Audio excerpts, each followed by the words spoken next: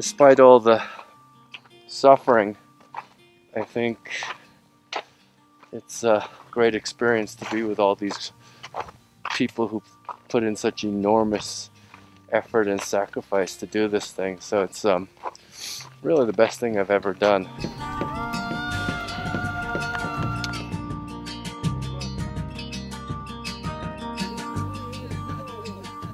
Yeah, it's been a very, very long day.